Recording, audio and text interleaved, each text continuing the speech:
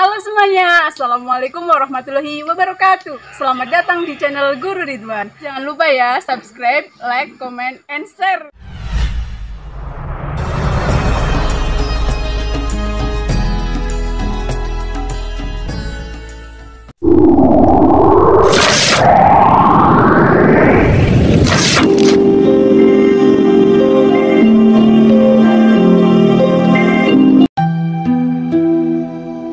Assalamualaikum warahmatullahi wabarakatuh.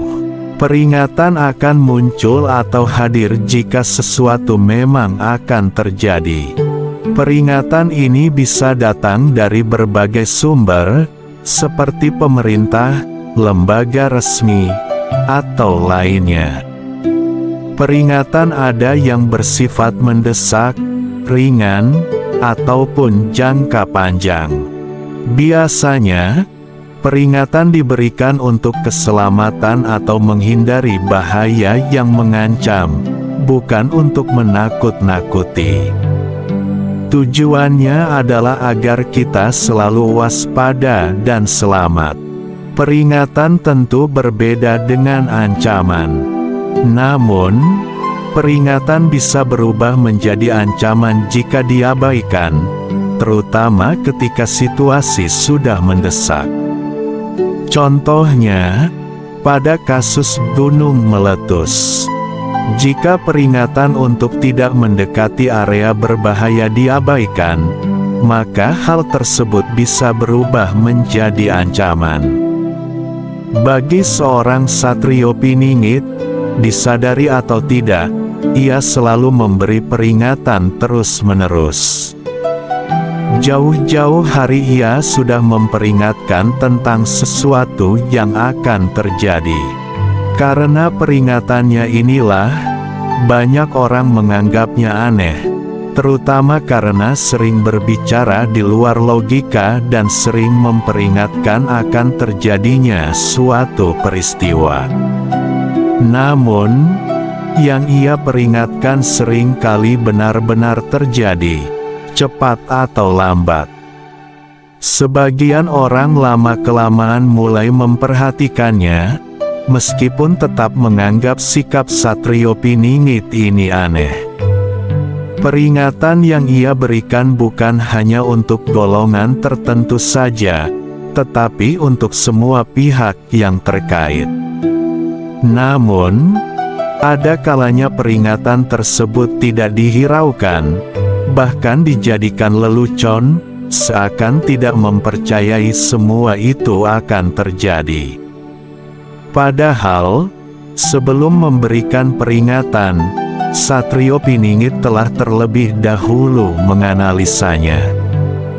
Ia memang pandai menganalisa sesuatu, baik yang masuk akal maupun yang tampak tidak masuk akal bagi orang yang tidak paham. Kewaspadaan harus selalu ada. Oleh karena itu, setiap ada peringatan, hendaknya dipahami dulu maksudnya, apakah baik atau tidak. Jika dirasa baik dan untuk keselamatan, maka tidak ada salahnya untuk didengar. Memperhatikan peringatan tidak akan merugikan dalam hal apa pun, kecuali jika peringatan tersebut keliru. Namun, kita pasti sudah bisa membedakan mana yang baik dan menolong, serta mana yang tidak baik atau merugikan. Peringatan akan muncul atau hadir jika sesuatu memang akan terjadi.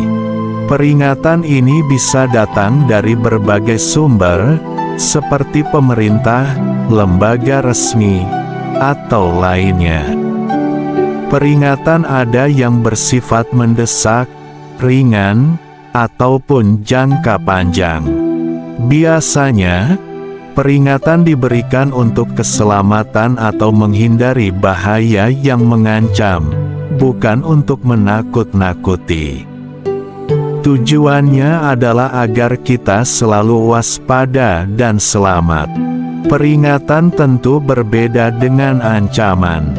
Namun, Peringatan bisa berubah menjadi ancaman jika diabaikan, terutama ketika situasi sudah mendesak. Contohnya, pada kasus gunung meletus. Jika peringatan untuk tidak mendekati area berbahaya diabaikan, maka hal tersebut bisa berubah menjadi ancaman.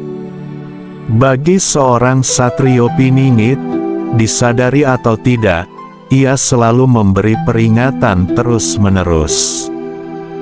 Jauh-jauh hari ia sudah memperingatkan tentang sesuatu yang akan terjadi. Karena peringatannya inilah, banyak orang menganggapnya aneh, terutama karena sering berbicara di luar logika dan sering memperingatkan akan terjadinya suatu peristiwa. Namun, yang ia peringatkan sering kali benar-benar terjadi, cepat atau lambat. Sebagian orang lama-kelamaan mulai memperhatikannya, meskipun tetap menganggap sikap Satrio Piningit ini aneh. Peringatan yang ia berikan bukan hanya untuk golongan tertentu saja, tetapi untuk semua pihak yang terkait. Namun, ada kalanya peringatan tersebut tidak dihiraukan, bahkan dijadikan lelucon, seakan tidak mempercayai semua itu akan terjadi. Padahal, sebelum memberikan peringatan, Satrio Piningit telah terlebih dahulu menganalisanya. Ia memang pandai menganalisa sesuatu, baik yang masuk akal maupun yang tampak tidak masuk akal bagi orang yang tidak paham. Kewaspadaan harus selalu ada, oleh karena itu, setiap ada peringatan, hendaknya dipahami dulu maksudnya apakah baik atau tidak. Jika dirasa baik dan untuk keselamatan, maka tidak ada salahnya untuk didengar.